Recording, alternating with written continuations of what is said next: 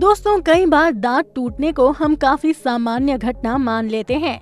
लेकिन हम आपको बता दें कि दांत का आधा टूटना या उसमें दरार आना कोई सामान्य घटना नहीं है। ऐसी कई स्थितियाँ हैं जिनसे दांत टूट सकता है। जैसे कोई कठोर भोजन चबाना, एक्सीडेंट के दौरान दांत पर कुछ लग जाना या फिर दांत पीसने की आदत के कारण भी दांत टूट सकता है। यदि आपके दांत का कोई छोटा हिस्सा टूट गया है तो हो सकता है कि आपको किसी प्रकार का दर्द महसूस ना हो। ऐसा इसीलिए होता है क्योंकि दांत का थोड़ा बहुत हिस्सा टूटने से दांत की अंदरूनी नसें दिखाई नहीं देती।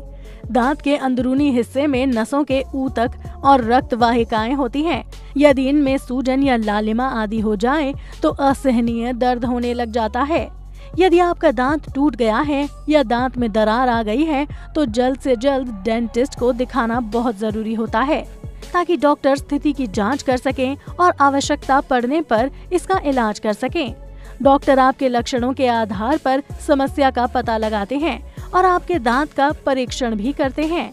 भोजन के अलावा अपने दांतों के साथ किसी अन्य चीज़ को चबाने की कोशिश नहीं करनी चाहिए, जैसे पेन और बोतल का ढक्कन आदि। यदि आपको दांत पीसने की आदत है तो उससे छुटकारा पाने के लिए डॉक्टर की मदद ज़रूर लें।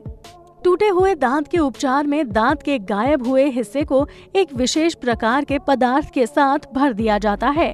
और यदि दांत का बड़ा हिस्सा टूट गया है तो दांत का एक आकार बनाकर उसे दांत की जगह पर लगा दिया जाता है। इसे क्राउन कहा जाता है।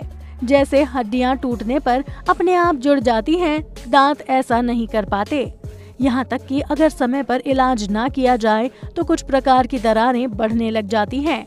लगातार दरार बढ़ने के कारण अंत में पूरा दांत निकल भी सकता है तो अगर आपको भी ऐसी ही कोई परेशानियों का सामना करना पड़ता है तो जल्द से जल्द अपने डॉक्टर के पास जाएँ और किसी अच्छे डेंटिस्ट से अपना इलाज करवाएँ। तो दोस्तों, आपको ये वीडियो कैसी लगी नीचे कमेंट बॉक्स में हमें अपनी राय लिखकर ज़रूर बताएँ और अगर आपको हमारी ये वीडियो पसंद आई हो तो इसे लाइक और शेयर करना ना भूलें।